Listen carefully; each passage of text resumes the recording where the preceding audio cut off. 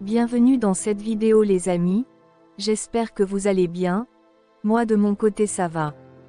Aujourd'hui, vous allez découvrir tous les enfants de Mokhtar Ould Dada, premier président de la République islamique de Mauritanie. Certains de ces enfants que vous connaissez sûrement, et d'autres pas. Pour cela, je vous prie de regarder cette vidéo jusqu'à la fin avant de commenter, et surtout, n'oubliez pas de vous abonner, tout en cliquant sur la cloche de notification pour ne pas louper à mes prochaines vidéos. Let's go les amis. En vertu de l'accord signé le 19 octobre 1960 entre la République française et la République islamique de Mauritanie, je proclame solennellement l'indépendance de la République. Mokhtar Dada, né le 25 décembre 1924 à Boutilimite, au sud-ouest de la Mauritanie, et mort le 15 octobre 2003 à Paris, en France, est un homme politique mauritanien. Il est président de la République islamique de Mauritanie du 28 novembre 1960 jusqu'à son renversement le 10 juillet 1978.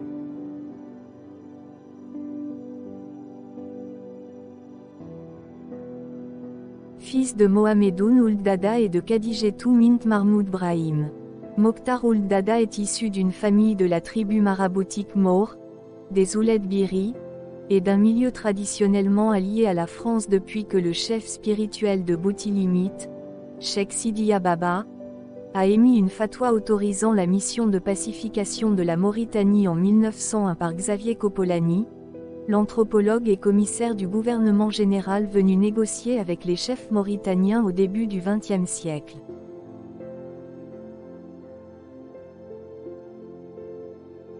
Après l'étude du Coran et l'apprentissage de la langue arabe, Mokhtar Ould Dada est inscrit en décembre 1934 à la Médersa, une école primaire franco-arabe de Boutilimite où il obtient, en juillet 1939, le certificat d'études primaires élémentaires, CEPE. Cette même année, il est inscrit à l'école Blanchot de Saint-Louis du Sénégal, section des fils de chef, baptisée dans un premier temps école des otages, créée par l'administrateur colonial français, Louis Féderbe, en 1855. Fin 1941, Mokhtar Dada passe avec succès le concours destiné au recrutement d'interprètes auprès de l'administration coloniale. À sa demande, il est affecté à Fort Bourreau, actuel F. Derrick, puis à Fort Trinquet, actuel Birmougreen, dans le nord du pays. Il y restera six ans. Entre 1948 et 1951, Mokhtar Dada termine ses études secondaires à Nice, au sud de la France, où il obtient son baccalauréat. De 1951 à 1955, il étudie le droit à la faculté de droit de Paris où, en 1955 il obtient, outre la licence, le certificat d'aptitude à la profession d'avocat, CAPA, devenant du même coup le premier licencié de son pays. Se destinant au barreau, il suit son stage d'avocat au cabinet de Maître Boissier-Palin, à Dakar, de novembre 1956 à mars 1957.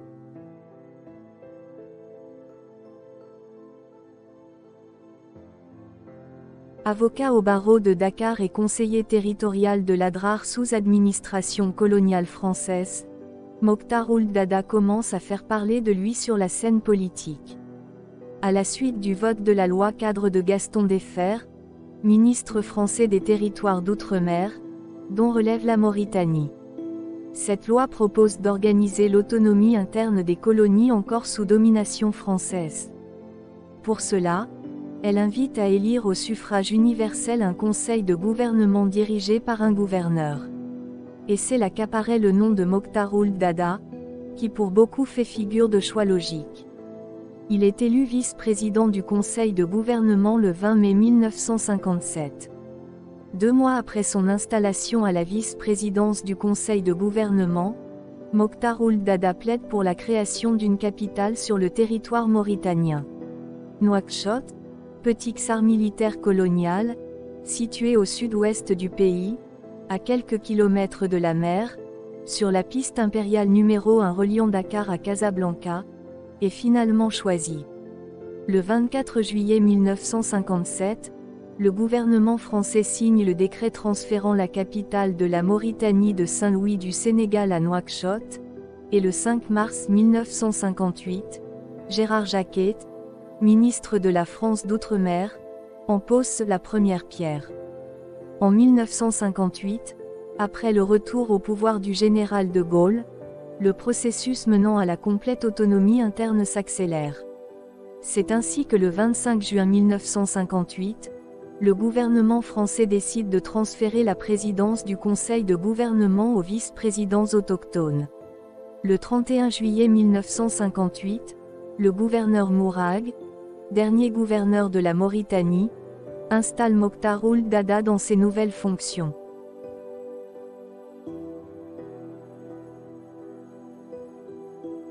Mokhtar Ould Dada était marié à Mariem Ould Dada, une Française catholique aux racines franc-comtoises, devenue première dame d'un pays musulman.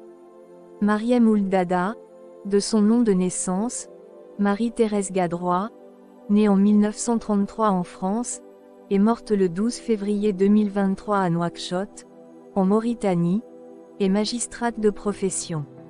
Elle est première dame de la République islamique de Mauritanie du 28 novembre 1960 jusqu'au renversement de son époux le 10 juillet 1978. En effet, tous deux condisciples de la faculté de droit, elle, française de 21 ans, se prépare à embrasser une carrière de magistrate, lui, mauritanien de 30 ans, à revêtir la robe d'avocat, ils font connaissance lors d'une soirée organisée par le groupe catholique de la faculté de droit, dont elle fait partie, en décembre 1954 à Paris. Après cette soirée, ils continuent à se voir, à la fac et en dehors de celle-ci. Jusque-là, Mokhtar n'a pas l'intention d'épouser une étrangère. C'est en 1956 à Grenoble, lors d'une visite de Marie-Thérèse Gadrois à Mokhtaroul Dada, que les jeunes amoureux décident de se marier, mais ils ne peuvent pas fixer une date exacte. D'autre part, Mokhtar souhaite d'abord en informer lui-même à son père à ce sujet. Devenu président du conseil de gouvernement de Mauritanie, entre deux avions, au retour d'un voyage aux États-Unis, Mokhtar s'arrête en France pour épouser Marie-Thérèse Gadrois, qu'il appelait déjà Mariem. Il se marie le 4 novembre 1958 à la Grande Mosquée de Paris. En 1977, Mariem se convertit à l'islam. Mokhtar Ould Dada et Marie-Thérèse Gadrois ont eu trois enfants. En première position nous avons, Mohamedoun Ould Dada, né en France, est un homme politique mauritanien. Mohamedoun est formé en droit international public. Il a été responsable de la documentation et du centre de recherche de la Fondation Mokhtar Ould Dada, l'organisation fondée en l'honneur du père de l'indépendance Dada. Mohamedoun a également travaillé comme directeur administratif et financier d'Invest Consulting, qui a promu les investissements étrangers en Mauritanie. En 2008, Mohamedoun est devenu ambassadeur de son pays et directeur de la coopération internationale au ministère des Affaires étrangères et de la coopération. Il a également été membre de la délégation aux sessions de l'Assemblée générale des Nations unies. En 2014, Mohamedoun est nommé ambassadeur en Belgique et aux Pays-Bas. L'année suivante, il a été nommé ambassadeur au Conseil européen. En 2019, il est ambassadeur de la Mauritanie auprès du Koweït. En 2021, le Conseil ministériel de la Ligue arabe porte son choix sur l'ambassadeur mauritanien, Mohamed Ould Dada, pour diriger sa mission en Afrique du Sud. Le mandat du diplomate mauritanien, nommé en concomitance avec sept autres ambassadeurs chargés de la même mission au niveau d'autres États, est de deux ans renouvelable.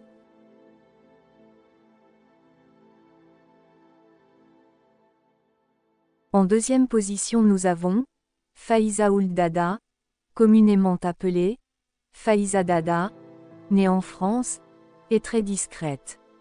Faiza est directrice du capital humain chez Groupe Bank en Mauritanie.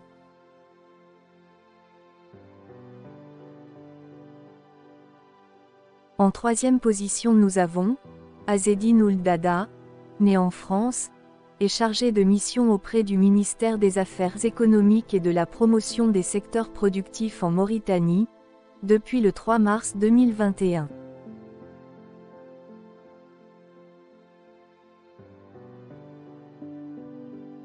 En juin 1958, Mokhtar Ould Dada se retrouve à la tête du parti du regroupement mauritanien, PRM.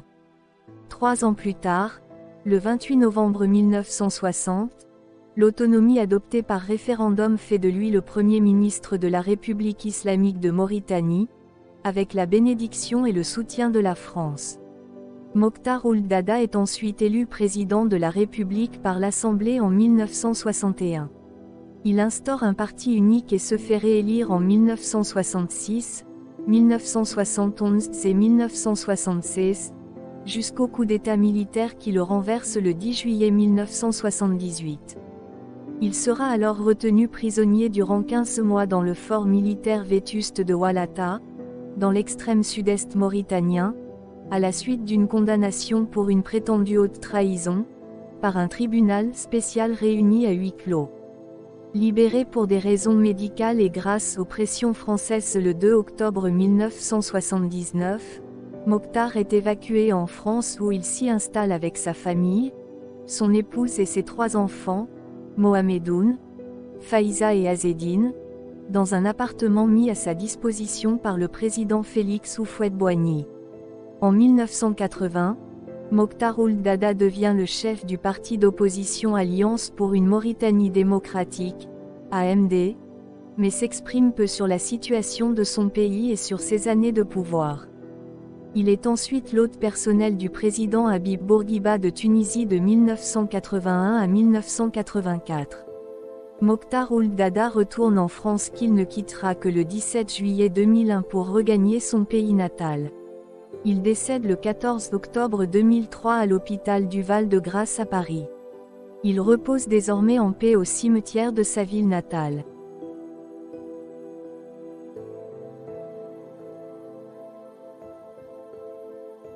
Et voilà les amis, c'est tout pour cette vidéo.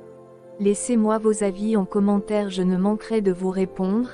Et surtout, n'oubliez pas de vous abonner, tout en cliquant sur la cloche de notification pour ne pas louper à mes prochaines vidéos.